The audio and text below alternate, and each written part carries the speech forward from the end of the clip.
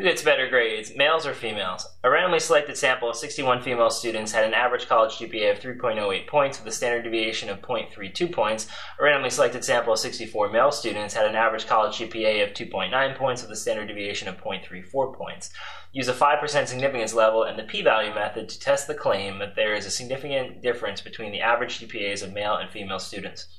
So let's first notice what I've underlined here. They ask us to use a 5% significance to uh, use the p-value method to test the claim. So to test the claim is keywords telling us it's a hypothesis test, and we're doing the test for the difference between the average GPAs. The other thing I want to notice is that there are large sample size for these two samples, right? And it's two separate groups that are being sampled, so it looks like I'm dealing with an independent z-test. So I'm comparing two independent populations. I want to compare their means. So the first thing I want to do is express the claim for the problem. So let's start out with that.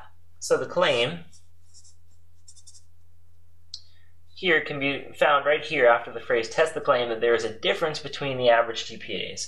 So that means that if we're comparing, for example, the mean for females and the mean for males, if you're just saying there's a difference, you're saying that they're not equal to one another, that they're not the same, right? You're not saying one's better than the other, you're just saying they're different. So one is not the same as the other. So not equal to is appropriate.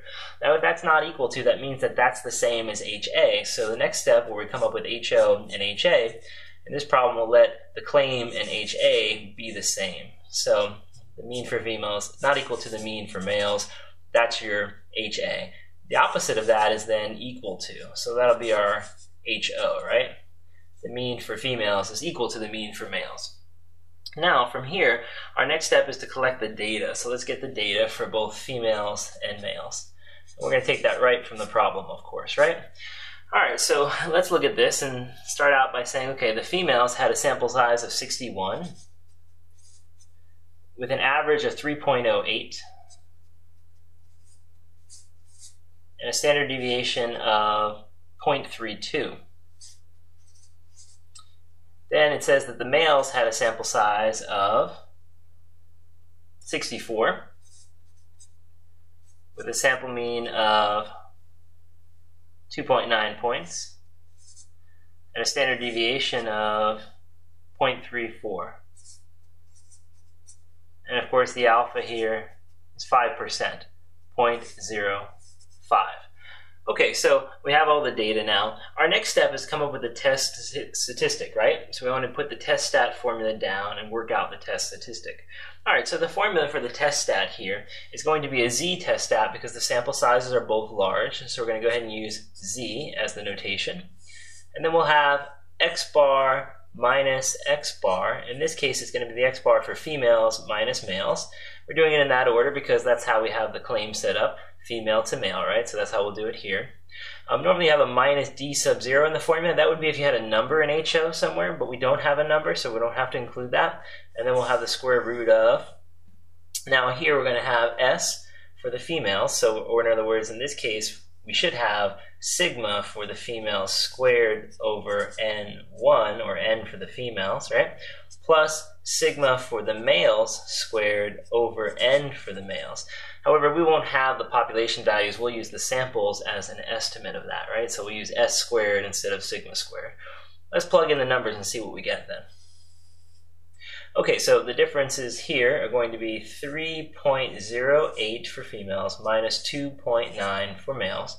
Then we're going to have under the square root uh, 0.32 squared over 61 plus 0.34 squared over 64.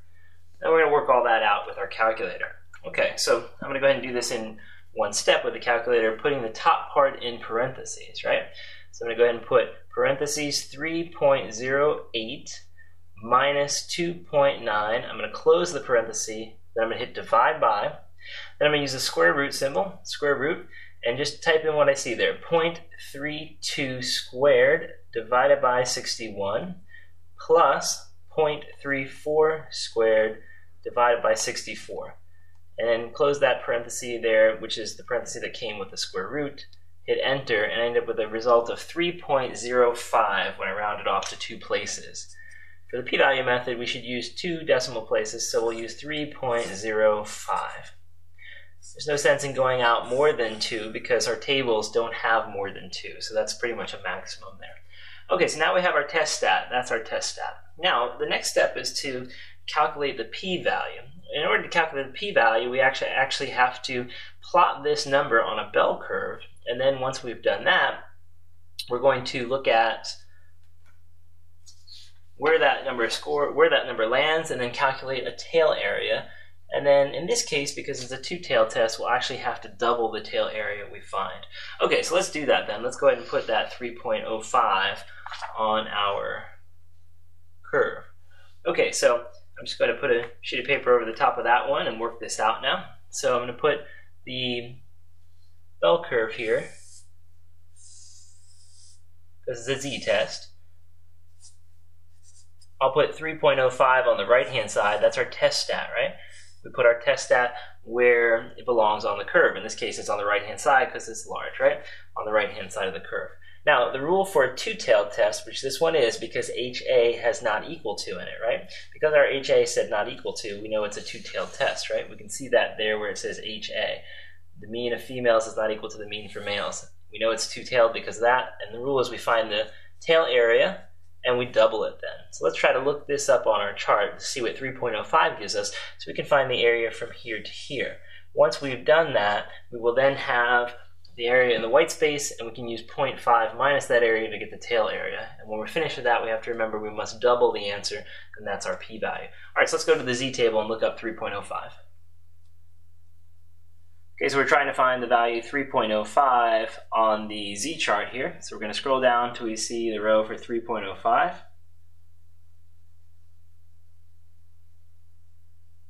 All right, so there we see 3.0 on the bottom of our screen. And we'll go over till we see the fifth position, or the sixth position, which is actually 3.05. So that's 3.0, 3.01, 3.02, 3.03, 3.04, and 3.05. So the value is 0.4989. Okay, so from the z-chart, we got the value 0.4989. And then, of course, when we subtract that number from 0.500, 0.4989 from 500, we get 0.0011. Now, that means that our p-value is actually twice that tail area, right? Remember, the tail area is 0.0011, but in a two-tail test, the p-value is twice that tail area. So the p-value is actually 2 times 0.0011, which of course is 0.0022. Okay, so that's our p-value. Now let's compare that p-value. So the p-value is equal to 0.0022. Let's compare that to alpha, which is 5%, right? So 0.05 is equal to alpha. Now, how does that compare? Well, it means that the p-value is less than alpha. So we have a rule that says when the p-value is less than alpha, we reject HO. So we're going to conclude that we should reject HO and therefore support HA. Okay, so remember that if we reject HO, we support HA. And when we go back to our original problem, we see that in the original problem, the claim here that we were dealing with we actually look at that, the claim here was HA. So that means we're going to support HA and reject HO as a consequence, right? So we're going to say that the sample data support the claim that there is a difference between the GPAs on average for females and the GPAs on average for males, right? Okay, so the sample data support the claim. The sample data support the claim. That there is a difference.